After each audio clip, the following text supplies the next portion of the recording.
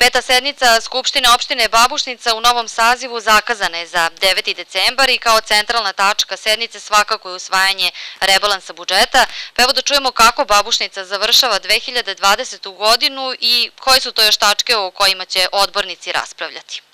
Dobar dan i vama. Evo ovako, svakako je prva tačka usvajanje drugog rebalansa budžeta za 2020. godinu. Budžet za 2020. godinu je bio 381 milion iz sobstvenih sredstava i ostvarenje je oko 70% budžeta. Na sednici će biti 19 tačaka, između ostalog pored rebalansa biće i usvajanje odluke o organizaciji opštinske uprave, nabavka novogodišnjih paketića, odluka o pokretanju javno-privatnog partnerstva za javnu rasvetu, odluka o izradi lokalnog akcijnog plana za rodnu ravnopravnost i usvajanje devetovensečnih izveštaja o radu opštinske uprave, javno-komunalnog preduzeća i regionalne deponije. Predlog budžeta za narednu godinu naći će se pred odbornicima, e, kako je najavljeno, 18. decembra, je li tako?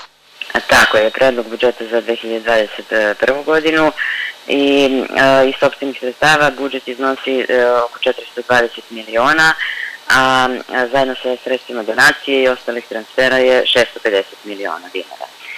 I e, povećali smo za narednu godinu ulaganja u putnu infrastrukturu, u turizam i razvoj sela, komunalne delatnosti i u izradu projektno-tehničke dokumentacije kako bi mogli da konkurišemo za dalje projekte, s obzirom da smo mi jedna siromašna opština i mnogo nam znače donacije. Planiramo da budžet bude razvojni i očekujemo podršku raznih ministarstva i kancelarije za upravljanje javnim ulaganjem. Kako ste priveli ovu 2020. godinu? Da li su ostvareni svi oni ciljevi ili će neki od projekata biti prebačeni za 2021. godinu? Biće prebačeni vaš projekti koji finansira Kancelarija za upravljanje javnim laganjima, to je sportska sala i rekonstrukcija srednje škole za narednu godinu. Ima još nekih projekata koji nisu završeni, a svakako biće u narednoj godini bio neke javne nabavke koje su započete ove godine bit će sprovedene naredne godine. Da li, da li ste vi generalno zadovoljni e, kako je protekla e, ova teška godina za sve pa i za ovaj naš kraj? Pa s obzirom da sam ja na, na čelu opštine od, od 20. avgusta, ja sam zadovoljna za ovih četiri meseca šta smo sve ostvarili. Što se tiče epidemiološke situacije, prema podacima Zavoda za javno zdravlje Pirot, ona se iz dana u dan pogoršava na teritoriji celog okruga. U opštini Babušnica uvedena je varena situacija koja je na snazi do 15. decembra. Kakva je trenutna situacija? Situacija je u Babušnici trenutno zabrinjavajuća jer smo juče imali 29 pozitivnih na antigenskom testu i jedan uzorak je poslat za PCR test. Tako da to najveći broj od početka epidemije u Babušnici što se tiče broja obolelih.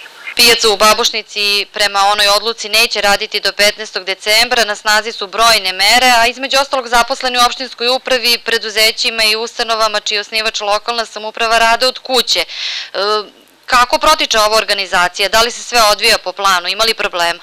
E, što se tiče pijace, pijaca je odložena do 15. decembra neće raditi, e, s obzirom da meštani svih babušničkih sela imaju tradiciju da se okupljaju svakog ponedljika u babušnici, koriste besplatni javni prevoz.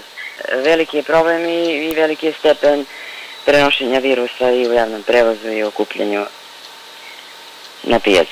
Što se tiče rada doma zdravlja, e, ima li problema, da li je, da kažemo, produžen taj rad lekara, da li uspevaju da lekari obave sve one preglede, s obzirom da, eto, vidimo e, u COVID ambulantama u Pirutu e, sve veće gužve se stvaraju ovih dana, kako je kod vas?